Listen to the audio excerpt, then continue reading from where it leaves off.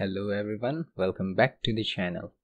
In today's video, we will create skybox using shader graph. I'm using Unity version 2022.2, but it will work on any Unity LTS versions. I have created a project in URP, and while you set up yours, let me roll the intro.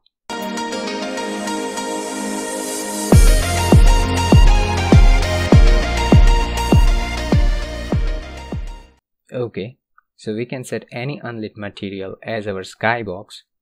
So let's create uh, the shader graph and pay attention here. We go built-in, then unlit shader graph. Let's call it skybox shader graph. Double click to open it. Skybox will typically has different colors over the y-axis or vertically top to bottom. So let's create a position node. Position node. We want world position, so let's keep the space at world. And now we need to normalize it, so let's take the output and feed it into normalize node.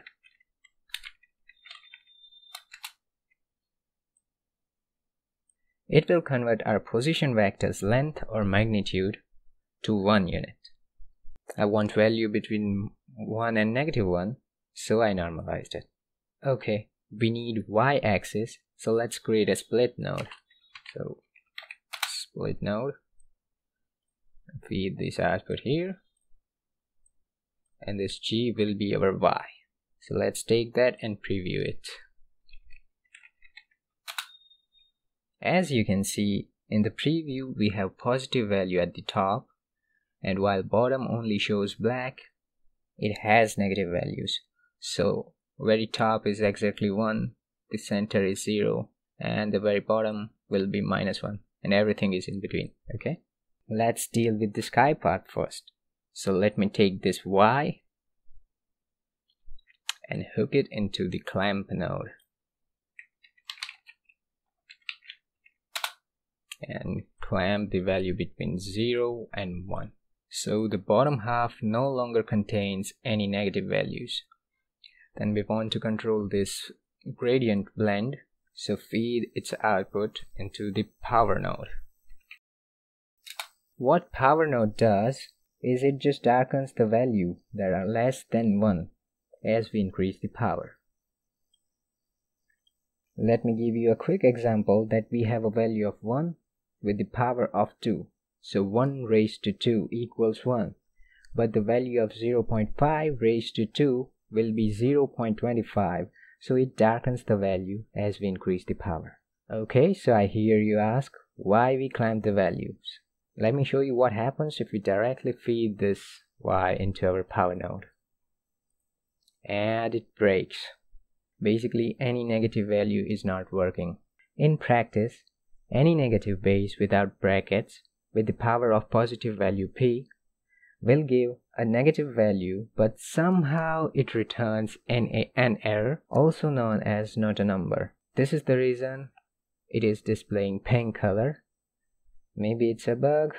If you know why it is happening, tell me in the comments. Now we want to control this blend from the inspector. So let's create a float property. Uh, call it zenith blend.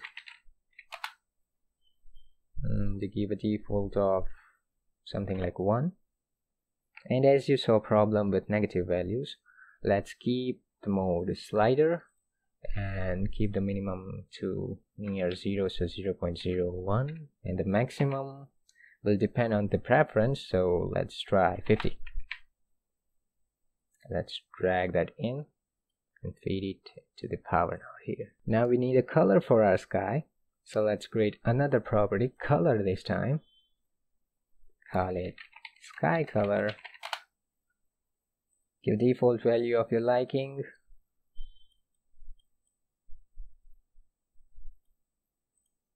Drag that in and multiply it with our power output just like that. Time to do the same for the ground. now we need bottom part this bottom part so let's take the y and clamp it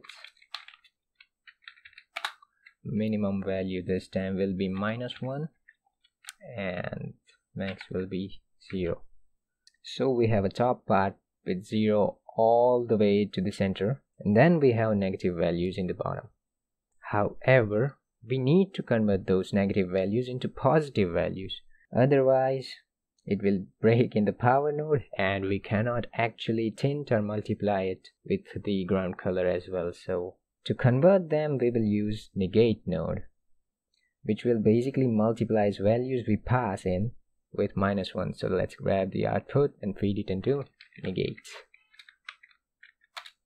Now we have the ground part. We will follow the same for the blend and color as we did with the sky. So let's create another float property. I will duplicate this zenith blend and uh, call it nadir blend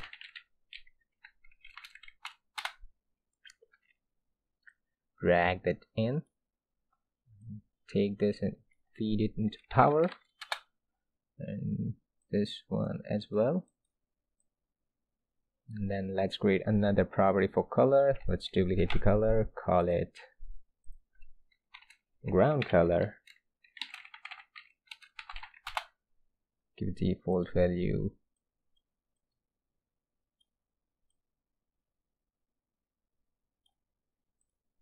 Drag this one in and multiply with the power output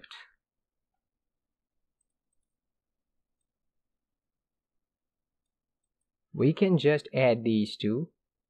Let me just add.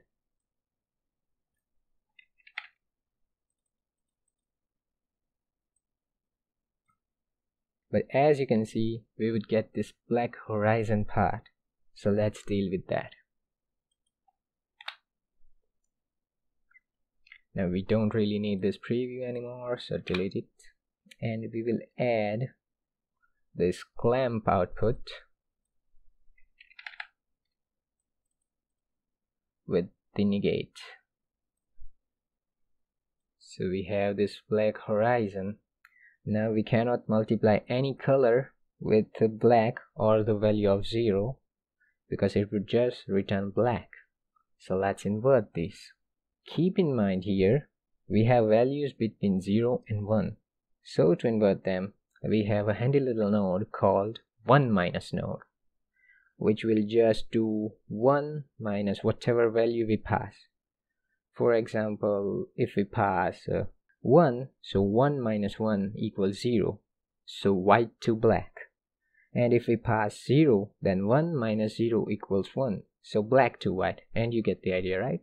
So let's feed it into 1 minus. Now we also want to control the blend of the horizon. So you guessed it.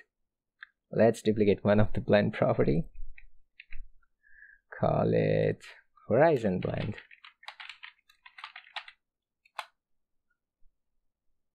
drag that in.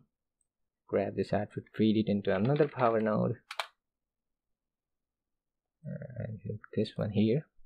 And give a default value of something like 30 so we can see the effect and the same thing for color. So let's duplicate one of the color. Call it horizon color.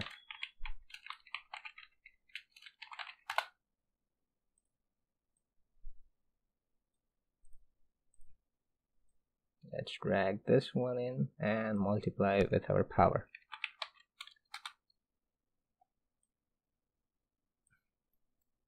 There we go only thing that remains is we need to add all these multiply outputs. So let's just do that. We can add in any order it doesn't matter. So let me just add this multiply with our horizon and add this one with our ground and feed this into our master node's base color. And save our graph, head back into the project window, let's create a material, call it skybox, and go to our lighting windows environment tab. So window rendering and lighting. So in lighting go to environments tab and then in the skybox material slot feed our skybox. And let's go. So yeah there we have it. We can adjust this from the inspector